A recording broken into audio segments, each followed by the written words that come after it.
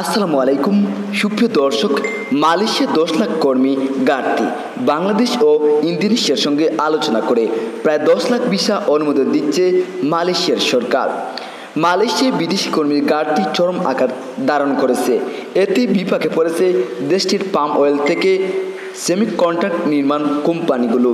জানা গেছে, মালয়েশিয়ার বিভিন্ন খাতে দশ লাখের বেশি শ্রমিকের ঘাটতি রয়েছে। এতে দেশটির অর্থনৈতিক পুনরুদ্ধার কার্যক্রম মারাত্মকভাবে ব্যাহত হচ্ছে। বেশ কিছু শিল্প গ্রুপ কোম্পানি ও কূটনীতিকরা জানিয়েছেন, চলতি বছরে মালয়েশিয়া থেকে করোনার বিধিনিষেধ উঠিয়ে নেওয়া হয়। কিন্তু দেশটির সরকারের দৃঢ় অনুমোদনের কারণে উল্লেখযোগ্য সংখ্যক শ্রমিক সেখানে প্রবেশ করতে পারেনি। তাছাড়া শ্রমিকদের সুরক্ষা নিয়ে ইন্দোনেশিয়া ও বাংলাদেশের সঙ্গে দীর্ঘ আলোচনার এর অন্যতম কারণ। দক্ষিণ এশিয়ার দেশ মালয়েশিয়ার মূলত রপ্তানির ওপর নির্ভরশীল।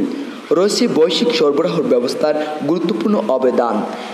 দেশটি কোম্পানি পাম অয়েলের বীজ বপন ও সেবা খাতের জন্য লাখ লাখ বিদেশি কর্মীর ওপর নির্ভরশীল।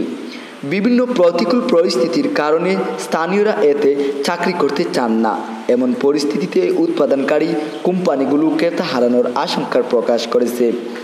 ফেডারেশন অফ মালয়েশিয়ান ম্যানুফ্যাকচার্সের প্রেসিডেন্ট সোচিয়ান লাই বলেছেন, অর্থনীতিতে ইতিবাচক পরিবর্তনের পাশাপাশি বিক্রি অনেক বেড়েছে। কিন্তু কিছু কোম্পানি চাহিদা অনুযায়ী পণ্য সরবরাহ করতে পারছে না।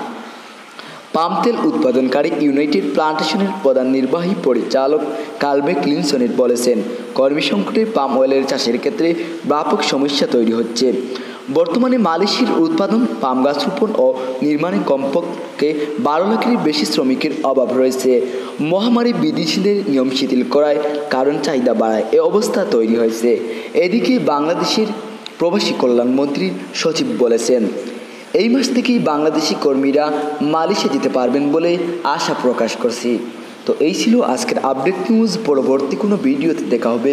এতক্ষণ আমাদের সাথে থাকার জন্য ধন্যবাদ সবাইকে।